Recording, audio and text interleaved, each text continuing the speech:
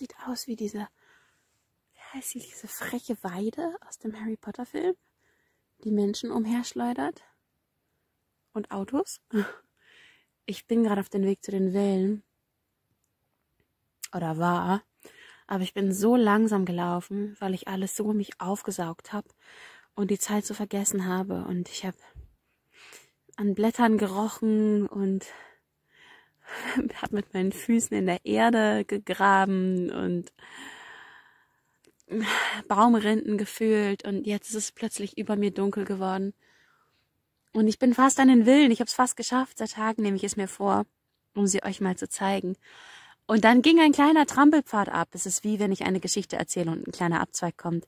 Es ging ein, ein kleiner Trampelpfad ab und dem bin ich gefolgt. Und jetzt bin ich hier gelandet. Bei dieser, ist es die Weeping Willow? Bei dieser, bei diesem magischen, Tim Burton-artigen Baum. Und bin jetzt hier in der, oh, könnt ihr den Mond sehen? Das ist wahnsinnig. Und die kleine Mühe in der Dunkelheit, aber die könnt ihr wahrscheinlich nicht sehen. Oh.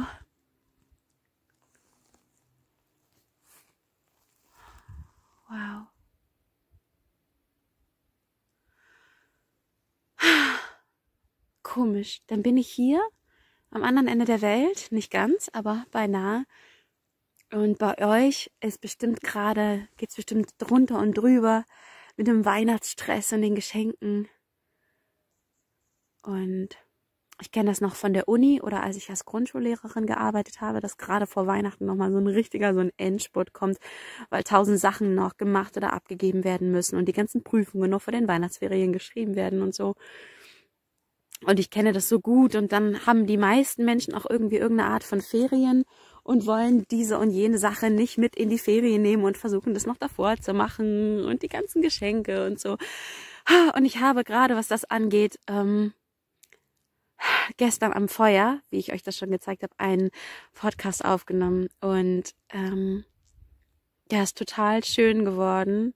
Ich bin richtig stolz und ich bin ganz, ganz froh, euch den zu zeigen. Der heißt So nackt wie der Mond und den wird es morgen geben. Morgen, morgen, morgen gibt's den Podcast für euch. Und ähm, für alle, die noch gar nicht wussten, dass es überhaupt Podcasts gibt, die können mal unten auf den Link in der Beschreibungsbox klicken. Ich habe nämlich ähm, eine einzige Podcast-Folge bis jetzt aufgenommen und die heißt Rosenblätter im Mund. Der Podcast generell heißt Wüstensand und Mondgeflüster. Und äh, genau, wer also jetzt total aus dem Häuschen ist, dass morgen der Podcast kommt und ähm, der, äh, und uns noch gar nicht wusste, dass es einen gibt, der kann jetzt schon mal vorhören und sich in Stimmung bringen. Und ähm, genau, überlegt euch schon mal einen schönen Moment, wo ihr den hören könnt. Es ist nämlich äh, ganz, ganz ruhiger Anti-Vorweihnachtsstress-Podcast mit Feuergeknister und vielleicht macht ihr euch einen schönen Abend in der Badewanne oder einen Spaziergang durch den Schnee. Gibt es schon Schnee in Deutschland? Und ähm, könnt euch jetzt schon mal einen schönen Moment aussuchen, um den zu hören. Ja, oh Mann. Und ähm, ich denke, ich werde jetzt so langsam wieder zurückgehen. Ich habe nämlich hier auf der Insel schon die Geschichte, mich komplett zu verlaufen, weil ich die ganze Zeit denke, mir kann ja nichts passieren. Es ist ja so eine kleine Insel und so. Und ich laufe einfach drauf los und bin hier Hans Kuck in die Luft und schlage irgendwelche komischen ähm, Trampelpfade ein, die ich hinterher nie wieder finde, weil ich auch immer in kompletter Dunkelheit irgendwie wieder zu Hause ankomme.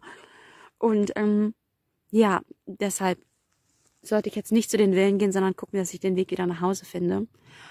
Ja, mein Laptop steht noch am Feuer, noch von gestern von der ähm, Podcast-Aufnahme und die dicken, dicken Olivenholzklötze brennen lichterloh und wärmen meinen Rücken.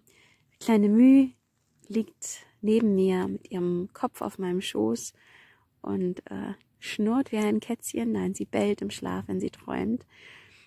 Und ich habe noch ein paar Kartoffeln und muss immer noch nicht raus, um einkaufen zu gehen, muss immer noch nicht raus in die Gesellschaft und ähm, bin ganz glücklich, mich jetzt für den Rest des Abends in meine kleine Blase zurückzuziehen und ähm, für euch weiterzuschreiben.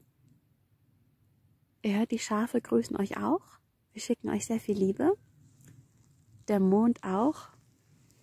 Diese Weide, die man mittlerweile gar nicht mehr erkennen kann. Und ich. Seid geküsst Freue dich auf den Podcast morgen. So nackt wie der Mond. Ich habe euch sehr, sehr lieb.